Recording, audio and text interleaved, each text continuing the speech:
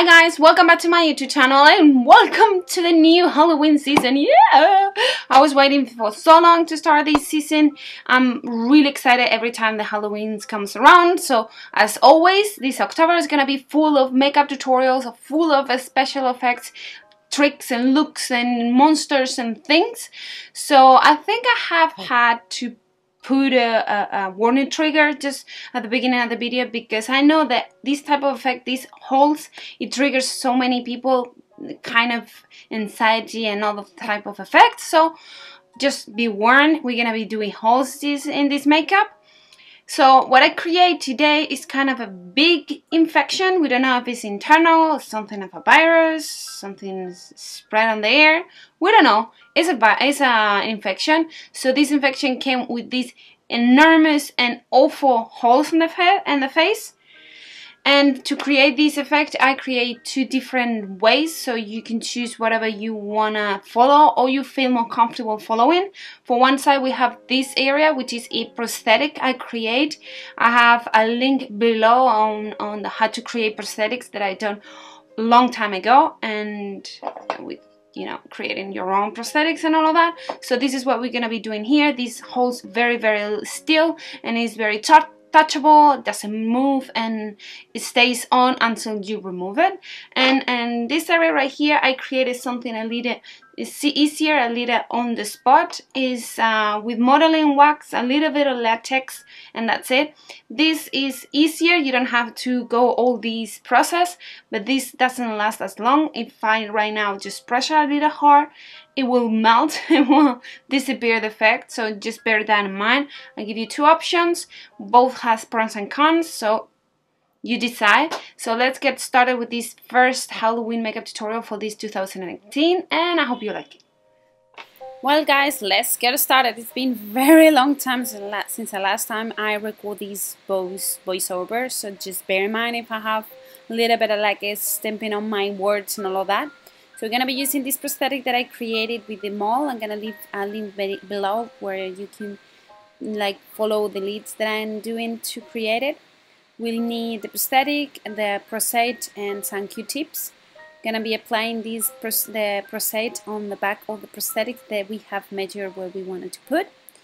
And then we're gonna be placing on the face, and once it's placed, we're gonna add the rest of the glue, which uh, we left it empty on the borders, and it's easier to apply that way. And then after we apply the glue on the borders, we can add an extra layer on, just on the borders of the prosthetics into our face.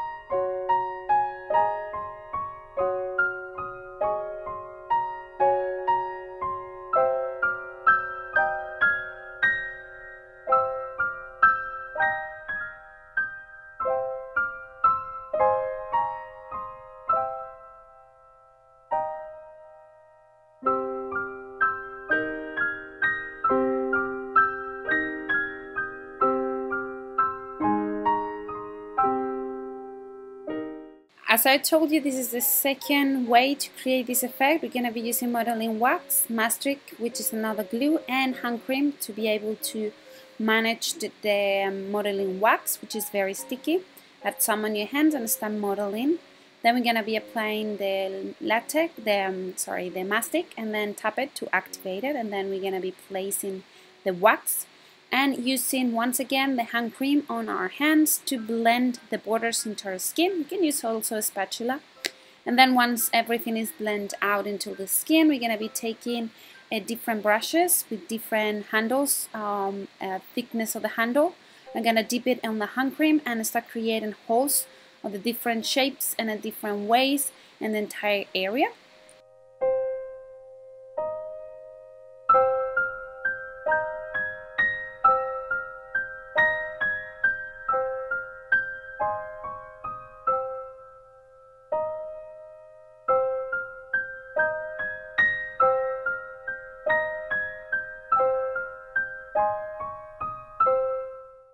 I'm going to be using liquid latex to apply all over both of the areas on the prosthetic just on the border and the other effect in the entire area.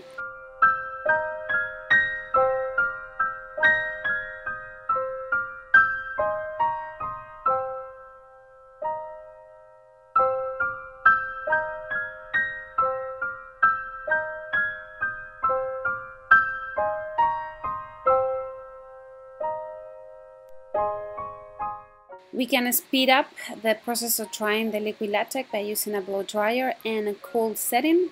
And then we're gonna set in everything with loose powder. This will make effect of uh, more mattifying on our, the rest of the effect. So it's good to apply a little bit of setting powder before starting with the colors.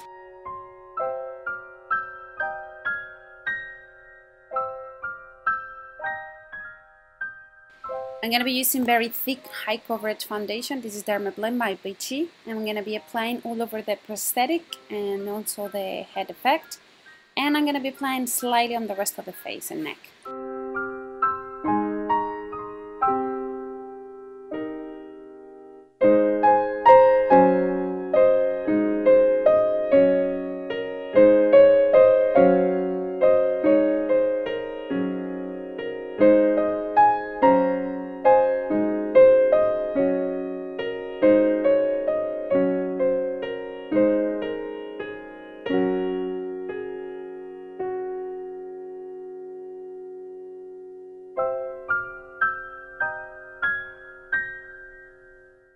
For the coloring, I'm going to go for cream colors. I'm going to start with a dark pink shade and apply with a very fluffy blending brush, but still small. I'm going to be applying each of the holes, and as you can see, out of mine that goes a little up into the border of the hole. It actually is better to, to happen this.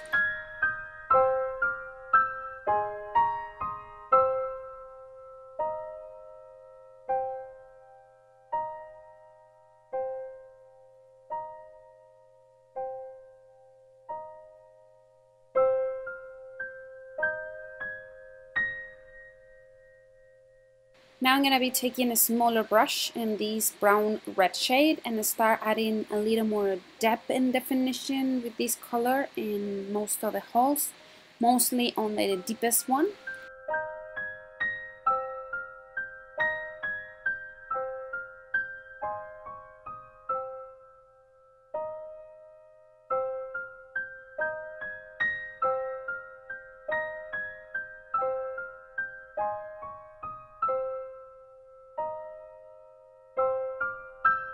Now let's give it a little more vivid effect. I'm going to go for a vivid red and apply again with a smaller brush and a bit more details. And once again, I'm going to be not in all of them. I'm going to be just jumping one to another.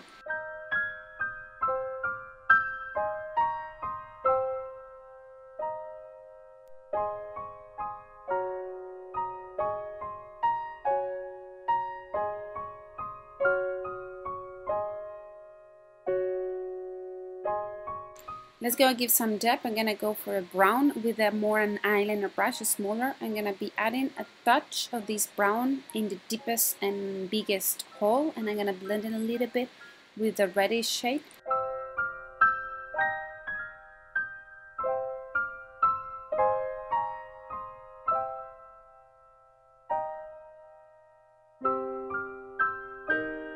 This touch gives everything a bit more ish. I'm gonna go for white and I'm giving just a tiniest bit of touch in some of the darkest or the deepest hole. This actually makes me cringe. Well, actually the next step is the one that it makes me very, very cringe. I'm gonna go for a just clear Vaseline and with a Q-tip and start adding this moisture effect into the holes. And once I apply this, uh, really, it makes me cringe.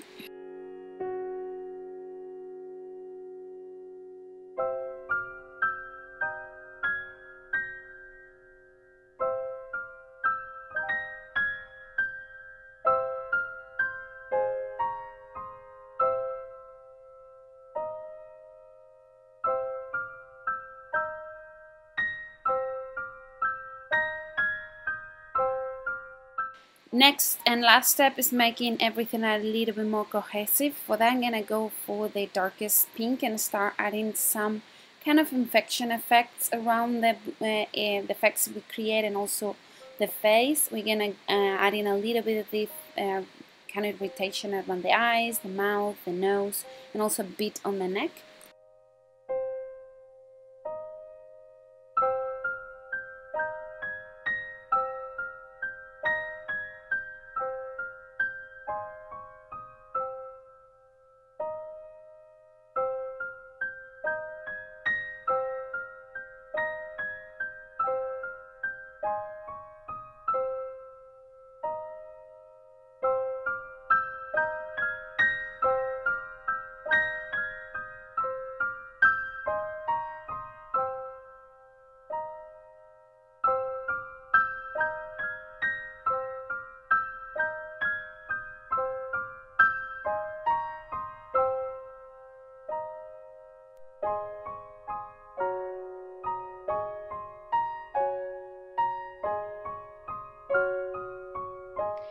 Well guys, I hope you enjoyed this makeup mm, tutorial, our first Halloween 2019 makeup tutorial.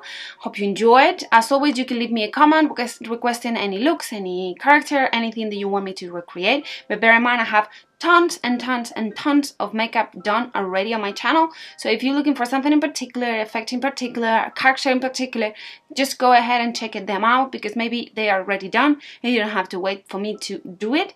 Otherwise, if you don't find it, just leave me a comment requesting whatever you feel like you wanted to be dressing up this Halloween or whatever you want me to do and you want to just see. And as always, you're going to uh, see the list of products that I used on the bar below. Thumbs up if you like this video and subscribe so you don't miss any of my tutorials. And as always, thanks so much for spending time with me. Be happy. See you next one. Bye. Yeah, he has his dog.